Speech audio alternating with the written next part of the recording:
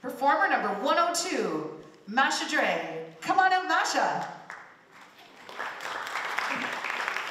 Masha joined us all the way from France, and she's been performing for 10 years across Europe. Is that right? It is. And now you're not only an actress, but you're also a musical journalist. It is also true. Excellent, excellent.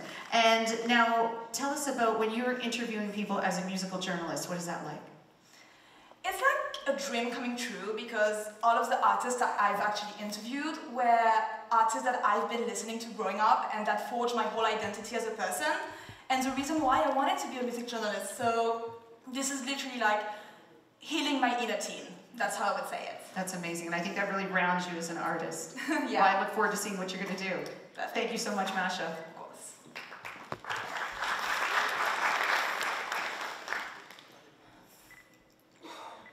You know people have these little habits that get you down? Like Bernie. Bernie, he loves to chew gum. No, not chew, pop. And I'm coming home this one and I'm really irritated and I'm looking for a little bit of sympathy. And there's Bernie lying on a couch, drinking a beer and chewing. No, not chewing, popping. So I said to him, I said, you pop that one more time. And he did. So um, I just took the shotgun off the wall and I fired two warning shots into his head.